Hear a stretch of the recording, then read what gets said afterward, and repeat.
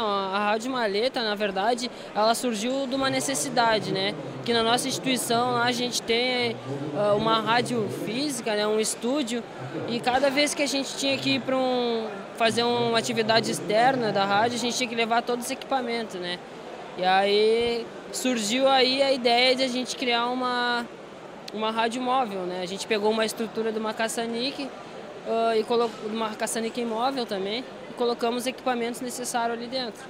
Mas era uma forma assim de agregar valor ao que as crianças faziam e levar isso para a comunidade também, porque como é colocado depois na internet, os pais têm essa condição de poder ver em outro momento o que o filho produziu. Antes a gente só tinha transmissão web, né?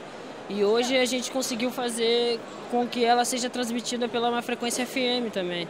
O retorno que a gente tem é em relação às crianças quererem continuar o trabalho, né? Elas nos procurarem a perder a inibição, né? A gente vê criança que tem dificuldade de leitura começar a se atrever a ler, porque o rádio é um incentivo.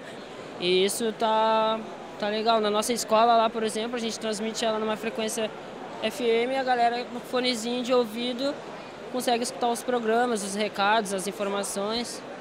A proposta de rádio como ferramenta de comunicação e de educação né, é infinita.